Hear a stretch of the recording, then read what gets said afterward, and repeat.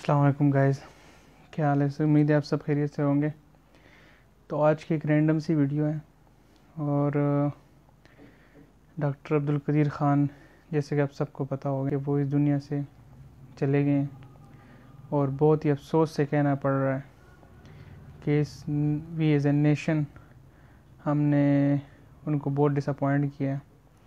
हमारी government authorities तो वो तो चलो अलग ही बात है उनकी, बात ही नहीं करते। तो हमने उनको बहुत ज़्यादा डिसअपॉइंट किया और हमने अपने कौमी एक सरमाया समझ लें।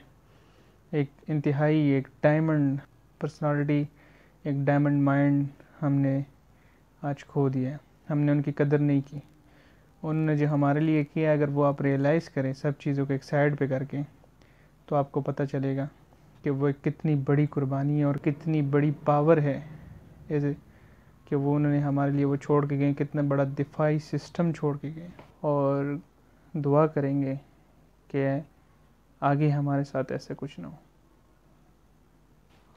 तो आए इस वीडियो में सभी अज़म करें कि आज के बाद जो भी हमारे कौमी ख़जाने, कीमती ख़जाने हैं, जो बुज़ुर्ग हैं और जो जो लोग हैं जिन्होंने मुल्क की खिदमत की है, हम उनकी रिस्पेक्ट करेंगे, उनकी कदर करेंगे और उनकी कदर करने के साथ साथ उनकी जो उन्होंने रास्ता बताया है, उन्होंने जो एक राह दिखाई है तो उस रास्ते को फॉलो करेंगे और कामयाबी की तरफ़ जाएँगे और कुछ बन के दिखाएँगे।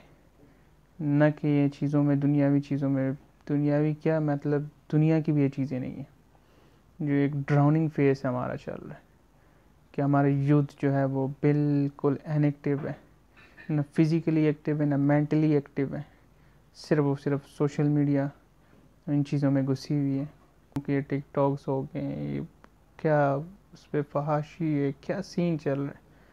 ये गेम्स देखें सारी जनरेशन गेम में में लगी हुई हैं। कोई कुछ नहीं कर पा रहा। तो ये सब चीज़ें जो है ना एक अलार्मिंग सिचुएशन है। डॉक्टर साहब कितनी पेंशन मिलती रही आपको? पहले तो मिलती थी चार हज़ार चार सौ सड़सठ रुपए।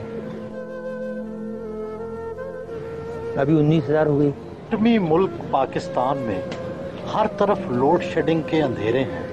क्या न्यूक्लियर तवानाई से ये मसला हल हो सकता है? क्या तरीका है? कोई शॉर्टकट है? शॉर्टकट देखिए तरीके बहुत से हैं लेकिन अब हमने कसम खाई है कि इस मुल्क को कुछ नहीं बताएँगे। जो हमने बताया उसका जो सिला मिला ना अब उसके बाद कोई सोल्यूशन कोई हल नहीं बताएँगे किसी को। आप डॉक्टर साहब ज़िंदगी में किसी बात का पछतावा भी है? इस कौम के लिए काम करने का। तो उम्मीद करता हूँ कि ये सब चीज़ें आपको समझ आई होंगी। इन अगली वीडियो में मिलते हैं। अगर चैनल को सब्सक्राइब नहीं किया तो सब्सक्राइब करें। बहुत शुक्रिया। अल्लाह हाफिज़।